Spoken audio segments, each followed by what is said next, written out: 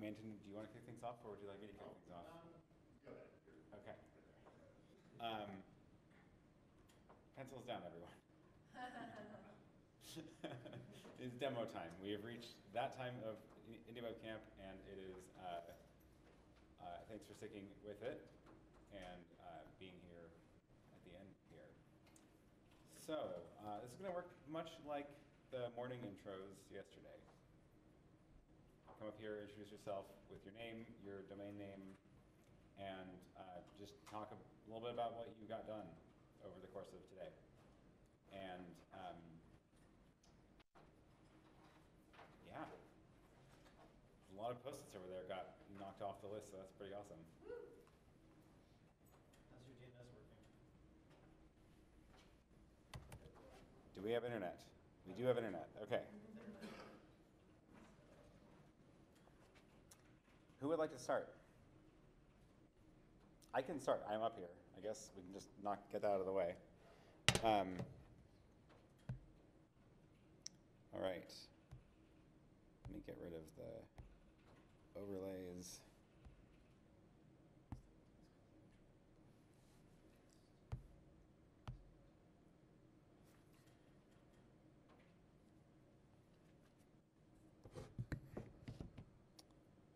Hi, I am Aaron Parecki.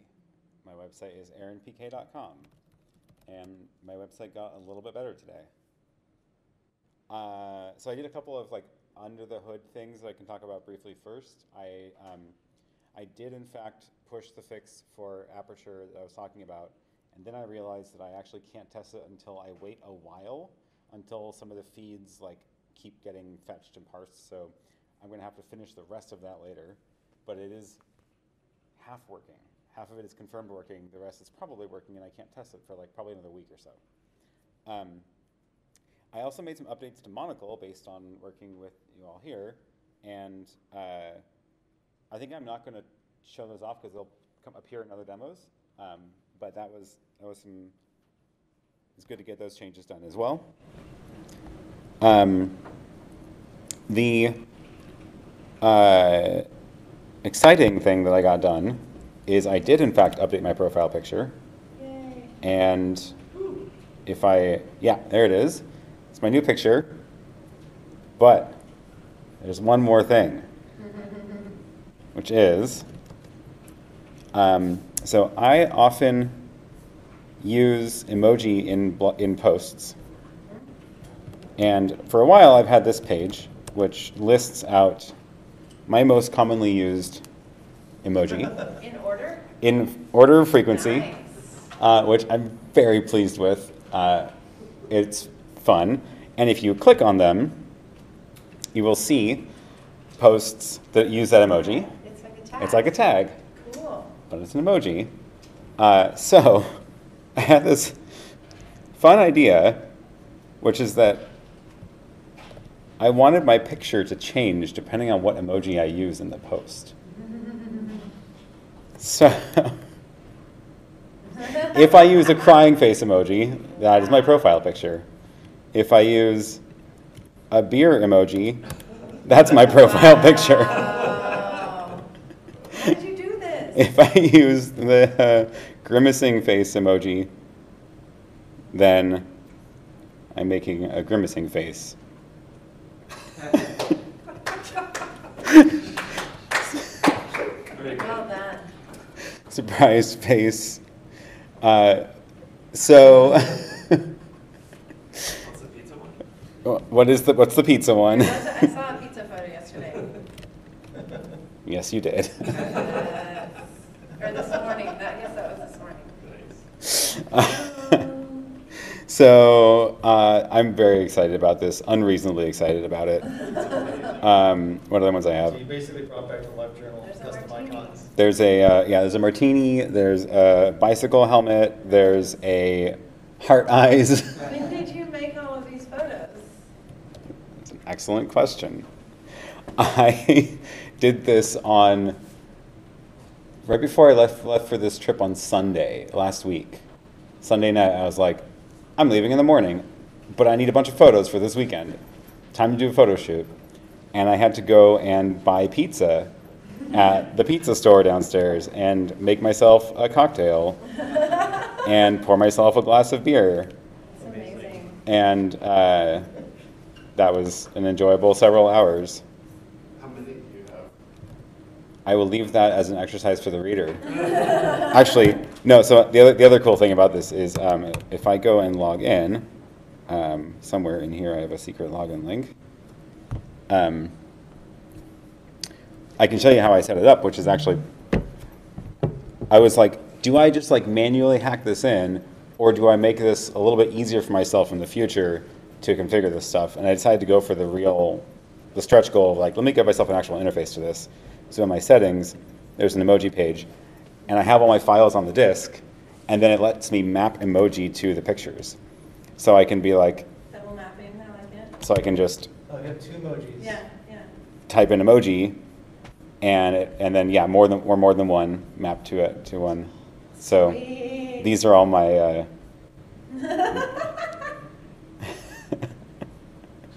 This is really cool. yeah. You uh, actually have a clinking glass. Who clinked a beer with you? myself. One picture this way, and then one picture that way. Okay. and then Photoshop it together. That one took the longest. Uh, and then I have the sound as a reference for myself, so I can like, which ones do I use? I should go fill them in. Um, so This is definitely something you can't do with Twitter. definitely cannot do this with Twitter, uh, or as far as I know, anything else. Yeah. Yeah. Um, the cool part is that uh, if you are following my blog, and uh, like from the microformats feed, you will get these pictures because they're on my site. So I don't know if any of my recent notes have them, but as soon as uh, I use an emoji in a post, yeah, on my first page too, then um, if you're following this page, like the, the, the picture is the photo and it will show up in the feed reader. So it should just work for everybody without them knowing that they have to support it, which is cool. Question? No, I just, um, like a while back, had a similar idea that, um, like you would filter each post with sentiment analysis, Mm. and you would display a different version of your avatar based on the sentiment of your post. Yep. A lot of times, I mean, just, it's just a big mismatch between what people are posting and like whatever they pick for their avatar. Definitely. And sometimes, It's disconcerting when there's like a grinning face and then like a really sad post. Yeah. So uh, this was my cheap version of sentiment analysis. It's like, oh, I use emoji all the time in posts, so let me just use that because that's more accurate than trying to analyze text. So yeah, cool. All right, I'm done. That's my demo.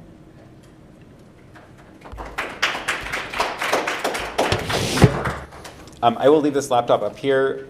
If you can demo on this laptop, please do. It will save a lot of time. You just go in order, so you don't have to like guess who's going next. Sure. Tantek, go. But you're go. Okay. I don't know what's going on here now, all right.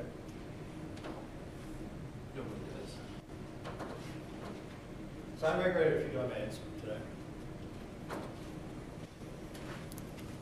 And I might as well go for the one that I tested and it worked. Uh, Tantek Çelik, tantek.com. I migrated um, my Amazon URL shortener because I have like long Amazon URLs. And it's called asin.cc. Um, and let's see, for the one that I couldn't tell if it migrated, which I probably should find out soon because otherwise it's going to break people's sites. Oh, look at that. Okay, this is H2VX. This is a very old microformats conversion service that's still running and that people still use to download their vCards and iCalendars. And so if you go to like the contacts conversion service, come on.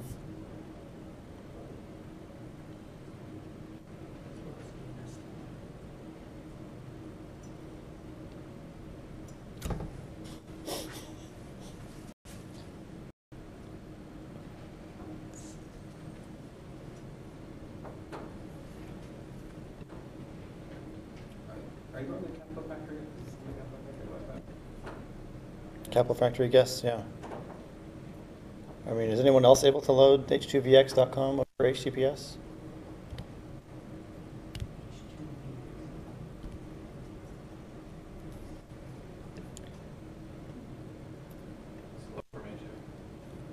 Okay. All right, well, who got a certificate error? Me, I'm getting a self-signed SSL cert. So that may be that you're getting like old DNS? But how is he getting old DNS if I just loaded it with like new DNS?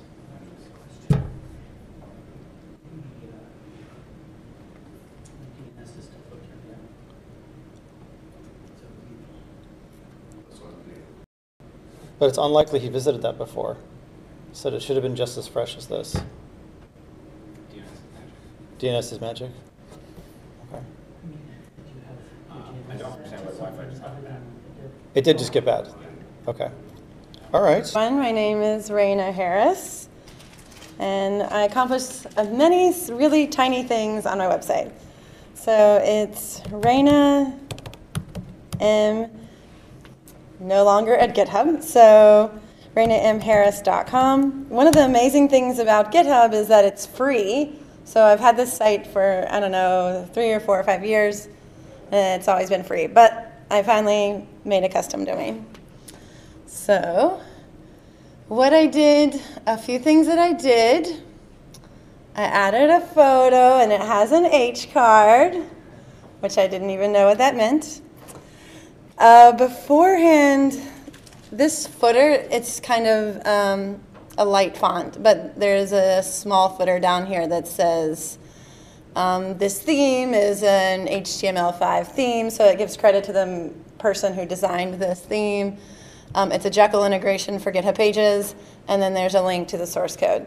This footer was only working on one of my pages, and I fixed that, so now it works across all of them.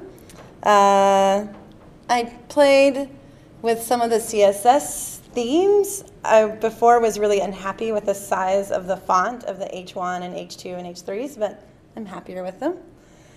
And then this, I think the blog is probably the thing that I did the most work on. So just a little tiny bit of formatting. I wrote a blog yesterday. Uh, someone here, John, gave a little talk about using this tool. I don't know how you pronounce it to do a screen share. So when, normally when you do a screen share of yourself live coding, it's a video. Um, but this tool lets you do a text-based screen share. So it looks like a video, but it's actually text and it's copy and pastable and findable and searchable. So but if we look at this, um, some more CSS style things, I changed the color of my hyperlinks. But down here, uh, I use the Indie Webcamp wiki, and I looked for other people that were doing using Jekyll, and I found someone who had some really cool plugin is the wrong word, um, but I, I copied and modified some code to quickly link to Twitter. So if you click share on Twitter, ba bam, there's the name of the post, there's the link to the post, and there's my name so they can reference me if they retweet it. The, uh, they can simply just send me a message if they want, um, copy the permalink, and then uh, Disqus was something that I had the code in there, but it was not working, and so I fixed my Disqus code. Um, so still using another provider. Maybe one day I won't, uh, but I think that's cool for now. And again, this footer is back. Yay! Okay, so those are my many, many small updates.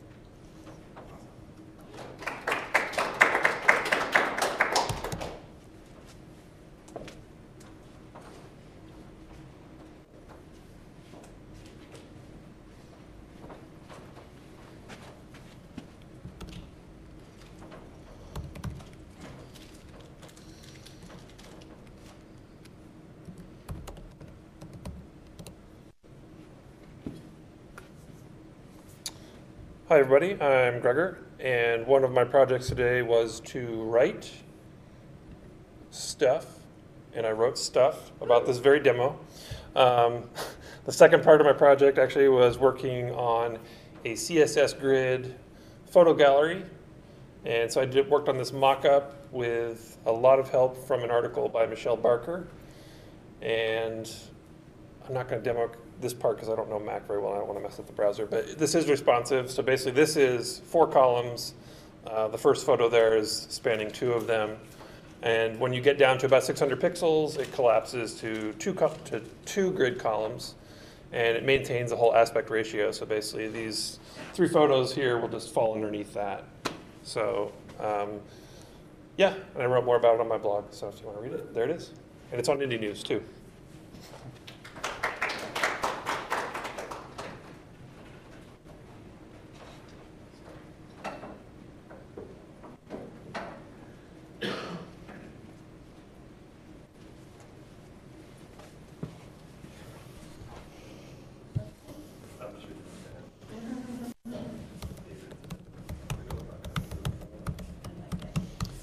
I'm David Millar, and my uh, primary domain is davegoesthedistance.com.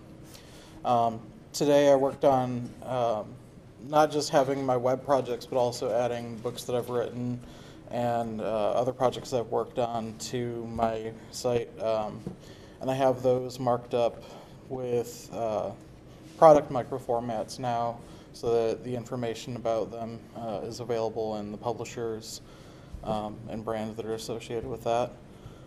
And then I also started adding um, a list of friends at the bottom and marking that up with some of the um, uh, XML Friends Network um, relation links um, so that that can facilitate um, kind of discovery of friends and such. Um, and then also, I don't have it quite ready to demo, but on my other site, the Griddle, um, I started uh, fixing a lot of the microformats that were in microformats one format and converting it to two and fixing other little bugs with that. And um, I'm going to be having that uh, probably ready to go within the next week or so.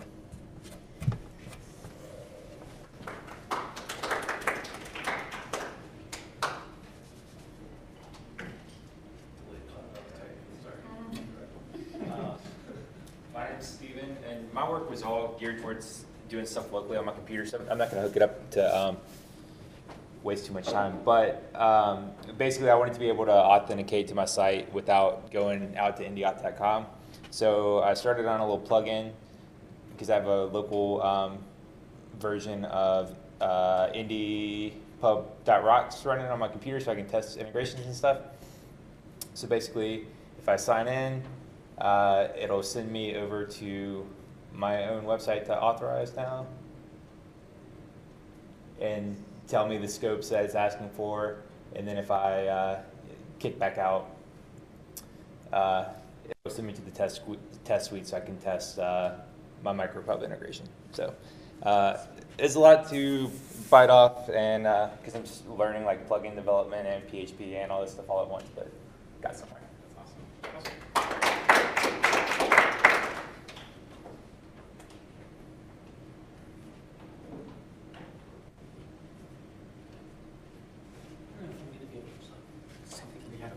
This one here. Awesome. See if I have enough juice to do this. Oh, make sure it's in 1080 when you get that connected.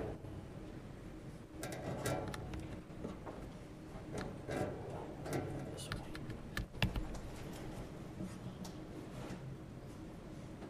way.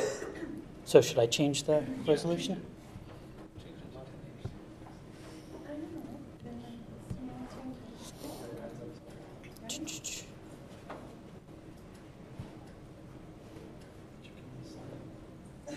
Oh, 1080i. It's cool? All right. I'll go with it. All right, so hey, I, I'm Isaiah. Um, I'm uh, Isaiah on Twitter. It's I S A I A H. I'm Isaiah on Instagram. I'm Isaiah on micro.blog. It's an easy one to get. Um, so I'm Isaiah.micro.blog. Sometimes I blog about uh, my my development. And what I'm working on uh, today is um, uh, a client for micro.blog. So um, yeah, so I like to write um, social clients. This one's called Kiwi. Um, I just thought I'd show you the, the sign-in uh, mechanism here. So get a nice little thing. The, there's a, a, a sort of developer uh, variant of the sign-in that lets you uh, sign in just with a token, and I have it right there. So easy peasy. Um, hopefully, yep. Um, so this is a just another client, and you know it's a lot like the built-in client, but uh, yeah, it has my my flavors for it. So it has a nice narrow view. So if you go down, you get um, yeah, a little bit different. It looks a little bit more like an old school Twitter client, I think.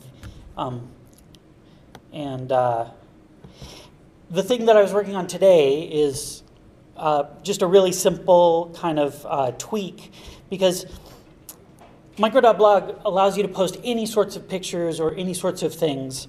Um, and I was trying to find some pictures here. Boy, there were. What's that? Oh, I'm on mentions. Oh, thank you. Okay, so uh, it allows you to post any sorts of pictures. So sometimes you get some big pictures, sometimes you get some little pictures, and they don't necessarily fit. So here's a good example. Uh, these kind of like scroll, and you can get pages and pages of pictures. So what I was doing is basically um, building out this system that can uh, slurp up the HTML, kind of scrape it, uh, rip it apart, and smash it back together any way that I, I want. Um, I don't have it completely filled out today, but um, I got a long way. I, um, so that I can at least, uh, yeah, remangle these pictures in, in a more, um, yeah, hopefully smaller bite-sized pieces. Um, so that's all I worked on today. But yeah, uh, go check out my blog. Hopefully sometime I'll have this thing for download someday. Uh, it, it, it won't be long. All right, that's it. How come responsive photos is so hard? Like what, how come? like, Um, Yeah, I don't know, sometimes I just get so frustrated, you think it would just work well, but it doesn't, like why haven't we solved this problem yet? You know, I mean, really, it's not too hard, but the, the challenge is that people post them in all sorts of different ways from all sorts of different devices.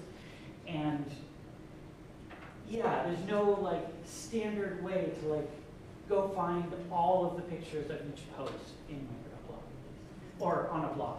So, yeah.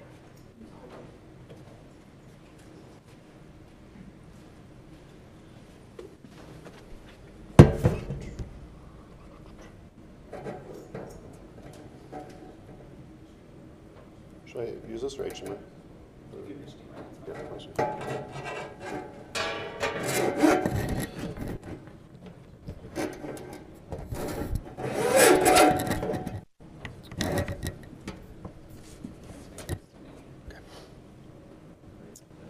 Hello, I'm Manton Reece, and I um, where's the cursor?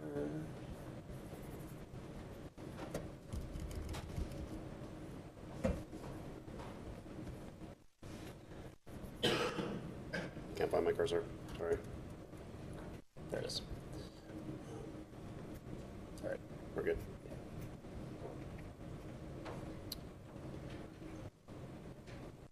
Um, Mary.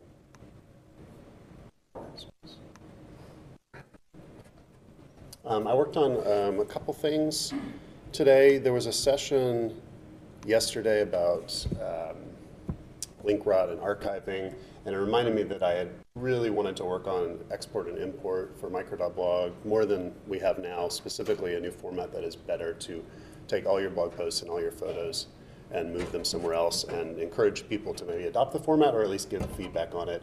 I called it uh, blog archive and dot .bar is the, uh, the extension, but it's really a zip file. So the, what I, I didn't totally finish what I wanted to do, but basically what I added to micro.blog is a way to um, export your blog in this format, and it uploads it to S3 so that there'll be a URL temporarily that you can download because I, I expected the files were going to be a little bit big. Unfortunately, there's a bug, and um, this file is not a little bit big, but I'll show you um, what it looks like. So it- it's actually just a zip file, so I can rename it and just open it as a folder. Um, and there's two files, index.html, a JSON feed, and then this is where the bug was. I accidentally didn't zip the photos, but they would go in the uploads folder organized by date. Um, the idea, so this, the, uh, the HTML file is three meg for my blog, and it's basically just every post on my site in just a really plain format, but with microformats. Um, so the JSON feed is there if you just want to parse JSON, but if you can read microformats, then you can use that. The image doesn't show up. What I though is I updated, so all the posts are updated with relative paths for that uploads folder. So uh, pull that far back. Um, it also, Aaron made a change for hiding buttons that don't make sense for that particular service. So the favorite button doesn't really match micro.blog, so that's hidden. I also, as part of this, added in reply to support to micro.blog finally. Um, so it will show the reply button. And if I type something here and hit reply, it will go to micro.blog as a reply and it'll chain it into the conversation. So this is, um, I've been wanting to do this for, since Microsub, you know, a year ago, and finally had a chance to work on it. And so, yeah, there's a couple things still to do, but pretty happy to, to get it done and see where it goes. Thanks.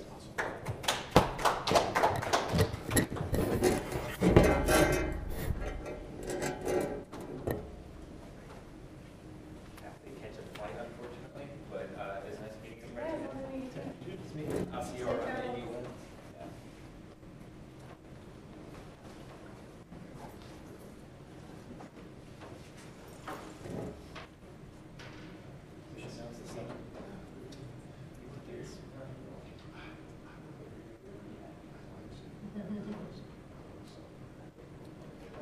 Um, I don't know how this is even possible, so I'm, I'm not going to work on my phone.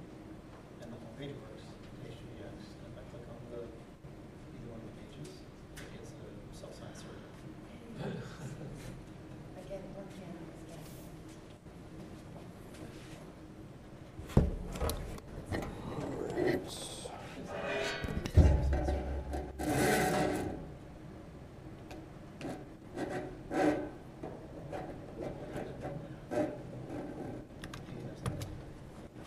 Is the audio hooked up to these? Uh, It- in the room, Yeah, it's okay if it's not. I